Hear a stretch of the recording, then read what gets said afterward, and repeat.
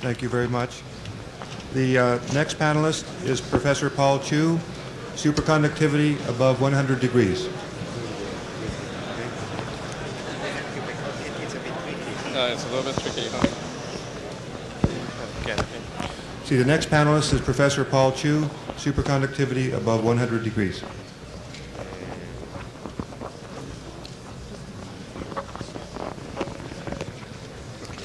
Thank you. Thank you. Mhm. I think it's, it's okay. Yeah, it's okay. I think I would take the, this opportunity to first thank uh, Alex Müller, George Bednorz for bringing across all this problem. And then I would also like to thank uh, Bernd Matthias, of course, he's not here now, and also Art Sleight, who uh, brought me to, uh, gave me the interest, uh, make me interested in the superconducting oxides. And also for John Bardeen, Marvin Cohen, Ted Jabor, and C.Y. Huang for their belief in non-conventional superconducting mechanism. And also Art Freeman, who's for his enthusiasm, constant enthusiasm, and also for his valuable information concerning band structure calculation. Of course, the support from National Science Foundation and NASA, and also Uni- University of Houston are greatly appreciated, especially for those colleagues at NSF who are making uh, the so-called flexi time schedule of the federal government more flexible to accommodate my erratic working uh, schedule between Houston and, um, and uh, uh, Washington, D.C. And last but not the least are my colleagues and students for their many sleep, sleepless nights and also hard working. Because of time, I just show this mainly the group at University of Houston and University of Alabama at Huntsville, headed by Professor Wu, and also Lockheed Research Center, C.Y. Huang, and also Los Alamos National Laboratory, uh, Chern Gibble, uh, uh, um, and Joe Thompson. And also, particularly, I appreciate the collaboration with uh, a geophysicist from the Geophysical Lab, uh, Dave Mao, Bob Hazen, and other people. I think the whole thing started, as I mentioned previously, because after the, we recognized the existence of the Swiss results, we decided to reproduce their result. Indeed, the, it was superconducting at uh, around in, 35 degrees. So we decided to see what's happening there. So we decided to apply pressure and also by applying, uh, by changing the chemicals uh, uh, substitutions, we found that the pressure effect was extremely unusually large. And then immediately we decided to simulate the pressure effect by substituting um, a barium with strontium, which has low, smaller radius, uh, atomic radius. Immediately the TC went up uh, without the application of pressure. We thought just by squeezing it, the TC would go up to much, much higher but unfortunately, when we replace barium with calcium, which has even smaller atomic radius, the TC goes down. So, so this tells us there exists an optimum interatomic separation for high TC.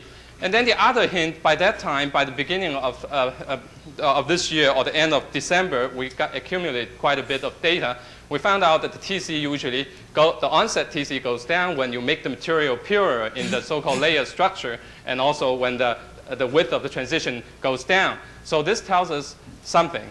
And then there's also, by that time, we have observed lots of indication of superconductivity as, uh, at temperature higher than 70 degrees, but only in those material without uh, the layer structure as the main uh, uh, phase. Let me just show you this curve, original curve measure on November the 25th. You see the resistance drops all the way starting from 70 degrees to 50 degrees, and this was mentioned in our first paper.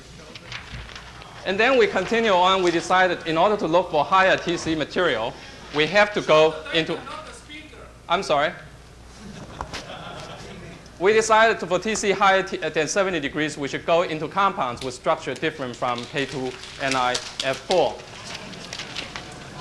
In fact, another, here I can also show you another compound which shows magnetic uh, uh, measurement starting 100 degrees. I purposely turned it upside down and going like this starting from 100 degrees. But unfortunately, this signal disappears after a day or so.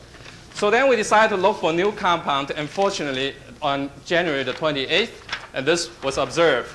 And uh, Professor Woods tried to impress people. In fact, he only measured it down to 77 degrees by using the liquid nitrogen dewar. As you can see, resistance really goes down.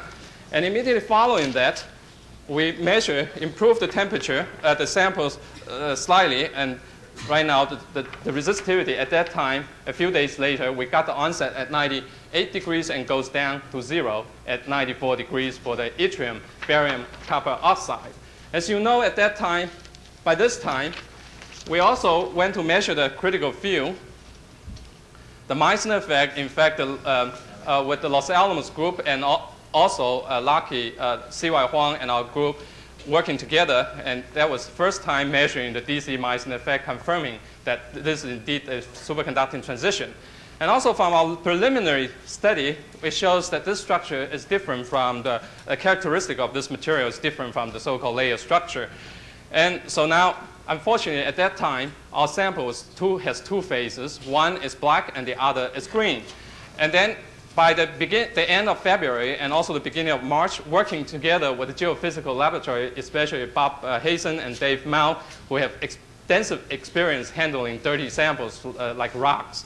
So they separated and identified the phase. The superconducting phase indeed was the black phase, has a composition expressed here with x less than 3. And it has a tetragonal symmetry. And the non-green, non-superconducting green phase has this kind of uh, formula with the orthorhombic uh, symmetry. And let me just show you, because uh, Dr. Hazen is going to describe the structure later, let me just show you briefly. This is his, his view graph here. As you can see, you have layers something here. I'll come back to this structure later when we discuss the occurrence of superconductivity here. Now with all that, we decided to find out what is the active elements, components for superconductivity above 90 degrees in this class of material. And so we decided to replace all these uh, elements, A elements, by all this whole, whole bunch of elements. And we found that basically the TC is almost constant. And here's the table of all the, uh, all the TC. The TC basically, TC 0, the onset temperature is between 91 to 98 degrees. And then the resistance goes to zero between 70 to 94 degrees. I believe the 70 degrees can be improved later. And then also look at the linear deviation, uh, the deviation from linear temperature dependence of resistance starts as high as 160 degrees. And if you want to define that as the onset temperature, certainly you may. And then we also found all this material becoming superconducting. And then when we measure the diamagnetic shielding, AC shielding, it goes from 97 to 100% now with all this material. So so from this study, we realized that superconductivity is independent of A atoms. And then when we look at the structure, they, they are quite interesting because they have the layer structure. Actually, it has CO2, that kind of, uh, this kind of structure. I think it's what I would like to show this very interesting because if you look at here, I did not put down the, the 6 plus x. The x I haven't put it in. And basically, if we only look at x without only 6 without the x, and that's the structure. And the most interesting part is this. When we look into the lanthanum, barium 2, copper 04, the layer structure, and this is the structure. And you have layers of copper and CO2, uh, copper oxygen 2 layers going like this, here and here. And they're separated here. According to band structure calculation of Lenny Mattheiss and also Art Freeman, they're not coupled. And here we have three here, okay? Well, and then three units up here. And then when we change this A element, it has no effect on superconductivity. Perhaps now we can consider that superconductivity actually is confined in this region. Okay. And the interesting part is this. If you look into, it, into that, in the layer compound, we have one layers. They're not coupled. And then in the, in the new compounds, it has three layers. One, one layer has 30 degrees, and three layers has 90 degrees approximately. is there any, is this accidental or not? We don't know. But certainly those three layers are coupled through the barium. And whether that's true or not, it has to be determined. But so based on this result, we think maybe we need bigger layer assembly and to get to higher temperature. And I would like to emphasize at this point, there are indications of superconductivity at 120, 150, 240. In fact, I should mention the 240 uh, drops of resistivity at that temperature, not only observed by us, but also observed by Lawrence, uh, by the Berkeley group, uh, Marvin Cohen and Alex Zettl's group.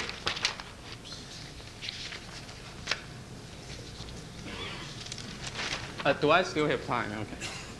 So now, with all that results, what, is the, what are the major ingredients in the superconductivity of this class of material? It appears to us right now all these structures have some defects, and therefore there must be local de uh, deformations associated with defects in here, so it must be important. And And the second thing is all that assembly of layers uh, over there, it, has, it retains some kind of quasi two-dimensional uh, uh, characteristic because when you change the A elements, you don't change the superconductivity. So it indicates that perhaps those three layers do not really couple strongly. It retains some two-dimensional characteristics. And also in the, la- the uh, potassium nickel fluoride structure, where the barium and the A atoms are not really ordered, they are disorderly uh, arranged. But here they are ordering, okay, in range in the 90 degrees one. So with all this, it appears to us, as uh, already um, uh, Dr. Ben uh, Miller already pointed out, perhaps in this class of material, we need some new kind of superconducting mechanism, and mainly of electronic in nature. So then what is it? It appears to us it's due to the coupling of uh, electrons through the virtual exchange of excitons. And the excitons, it, if we look into there, they may be generally grouped into two types. One is the excitons and charge carriers are in different spatial regions. In order to accomplish that, we're talking about interfacials. Interfaces can exist both in, in a compound system with two different structure phases or in the same, even in the same phase. Okay? If we look at the layer structure, we may accomplish that kind of situation. And this kind of model has been previously proposed by Bardeen and co-workers, and also Ginzburg, and also CST, my colleague at the University of Houston. Now, what would happen in the other case? Where the excitons and charge carriers in the spatial regions, in the same, in the same spatial regions. Okay? In that case, then we can make use of the so-called plasmons uh, mechanism, which has been proposed by uh, Kresin of Lawrence Rady, uh, LBL, and also um, you know, John Ruvalds of Virginia University. According to their models, two-dimensional plasmons, can, acoustic plasmons, can can help us to achieve higher TC. But then what about the charge? uh, because when you look into this layer, the couples ch- uh, charge are transferring between different states, and therefore Chandra Varma proposed a charge transfer fluctuation situation where you can get an enhancement in superconducting interaction. And then the other type is perhaps when you look at all this material, they all have some magnetic origin in it. The subtle, as we observed previously, the material lanthanum uh, copper uh, barium oxide, you can make it into insulator, you can make it into superconducting, you can also make into magnetic situation, or magnetic compound. So here we are talking about a possibility of spin fluctuation associated with the copper 2 plus ions. And that can enhance, uh, enhance superconductivity and get a D pairing, just like people proposed in the heavy fermion situation. And then the, the other model is resonating valence bond state proposed by Phil Anderson. And um, it appears to us at this moment, and there's no experiments which can distinguish one from the other at this moment or rule out any of this, and I think they all deserve some uh, attention. Now, one question, one final conclusion. Can we get TCE higher? And I believe we will be able to get higher TC. And let me just show you one of the curve here, which is just an indication of superconductivity. In fact, we have cited this kind of drop in resistivity more than 15 times now. And we hope with the hard work of everyone, we can stabilize that phase. Thank you.